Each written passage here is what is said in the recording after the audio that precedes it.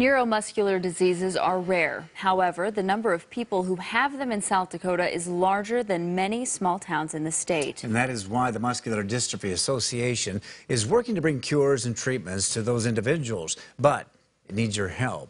Instead of telling you why on tonight's Eye on KELOLAND, Brady Mallory introduces you to two brothers who will show you why people with neuromuscular diseases need your support. Meet Micah and Eli, two brothers who love to horse around. It doesn't take long for Micah to steal the spotlight and show off his dance moves.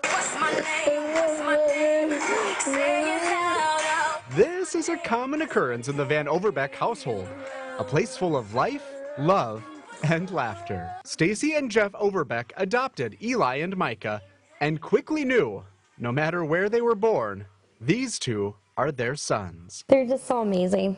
I love my boys. That love comes in handy because this mom and dad knew Micah would need some extra support he was born with a genetic neuromuscular disease called myotonic dystrophy, type 1. It's a progressive disease that weakens the muscles. It affects every system in his body. Um, it affects um, his brain, it affects his heart, his lungs, um, his muscles in his hands and in his feet, um, and it, uh, it affects his speech. When he was little, Stacy says he couldn't eat and needed a feeding tube. And now... He eats everything. He eats steak now. It's true. Micah doesn't let his condition slow him down. So I think it's one of those things that after a certain point in time, you just you forget that he has the disability and you move forward. Who's your favorite character in Scooby-Doo? Off camera, the six-year-old was very chatty. However, when I tried to interview him, he got a little shy.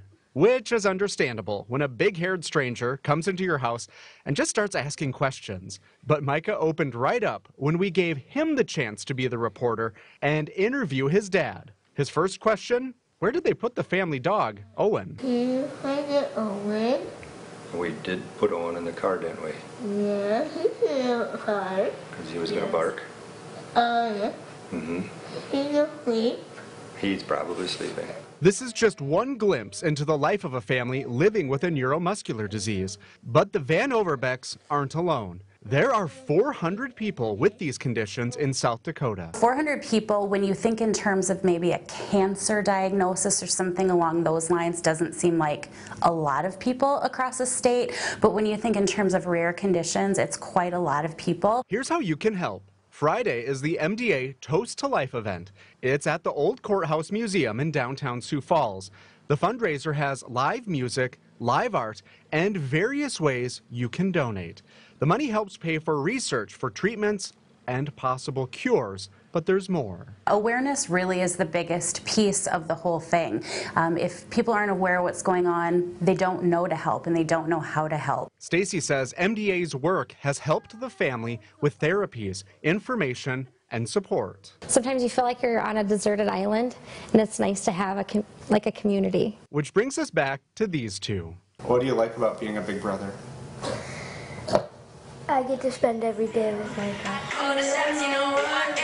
Today, efforts to support people with neuromuscular diseases could help Eli's brother, Micah. Mike is perfect the way he is. If we could slow down the progression um, to where he might be able to enjoy his adult years, uh, I think that would be the main goal. Tomorrow, it could help your own brother, sister, mother, father, or child. With Eye on KELOLAND, I'm Brady Mallory. Tickets are still available to Friday's Toast to Life event. We have listed information about how to buy them under this story at KELOLAND.com. And we've also listed where you can donate if you can't make the event.